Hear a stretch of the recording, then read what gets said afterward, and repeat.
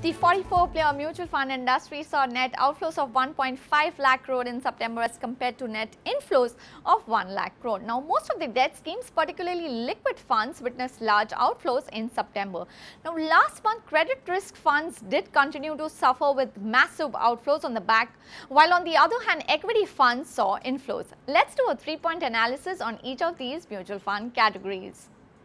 1. Liquid funds see highest outflows. Liquid funds which are used by banks and corporates to park surplus cash recorded the highest number of outflows last month. The category registered an outflow of 1.4 lakh crore in September.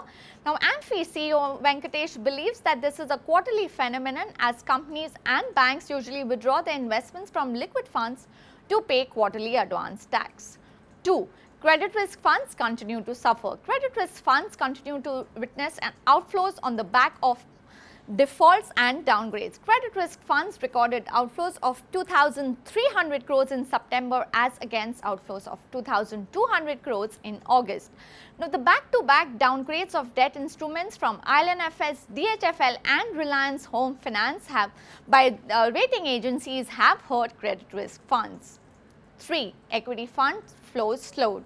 Inflows in equity funds including ELSS category fell from little over 9,000 crore to 6,600 crore in September. Now, fund managers attribute the slower inflows to volatile equity market last month.